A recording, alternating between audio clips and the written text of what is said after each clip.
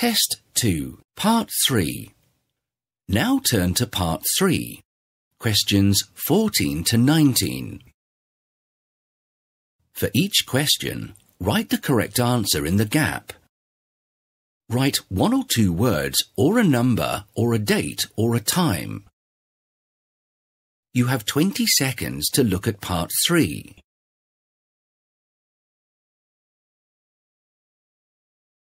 You will hear a tour guide talking to a group of people.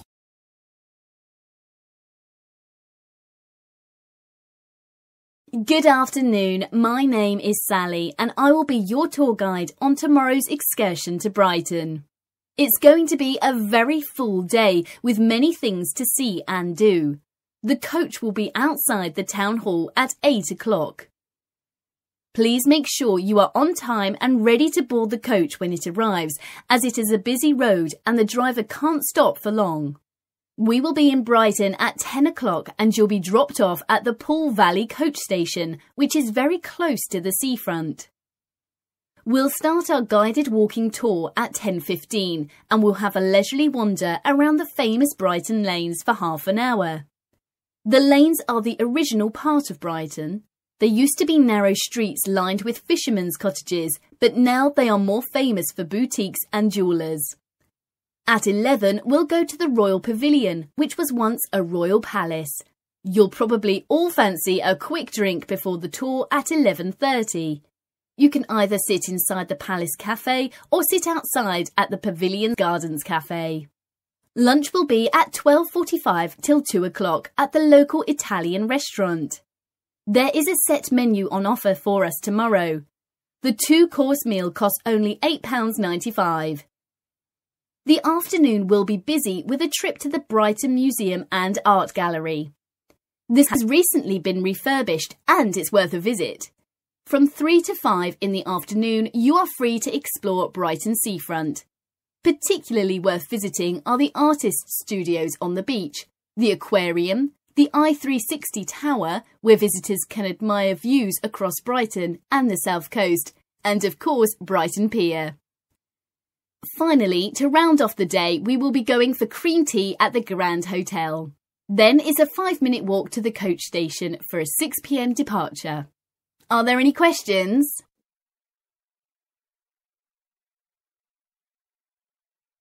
Now listen again.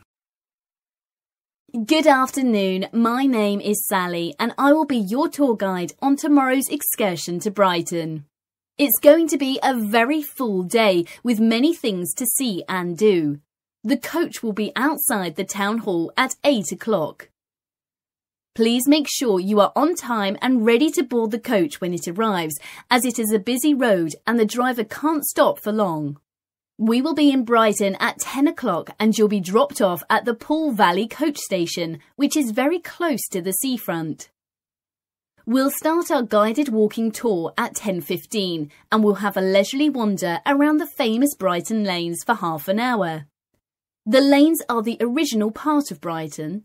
They used to be narrow streets lined with fishermen's cottages, but now they are more famous for boutiques and jewellers. At 11, we'll go to the Royal Pavilion, which was once a royal palace. You'll probably all fancy a quick drink before the tour at 11.30. You can either sit inside the Palace Cafe or sit outside at the Pavilion Gardens Cafe. Lunch will be at 12.45 till 2 o'clock at the local Italian restaurant. There is a set menu on offer for us tomorrow. The two-course meal costs only £8.95. The afternoon will be busy with a trip to the Brighton Museum and Art Gallery.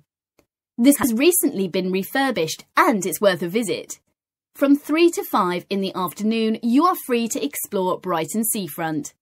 Particularly worth visiting are the artists' studios on the beach, the aquarium, the I360 Tower, where visitors can admire views across Brighton and the south coast, and of course Brighton Pier.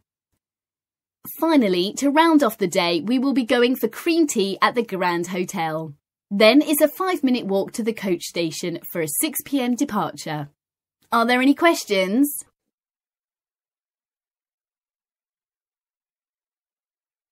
That is the end of part three.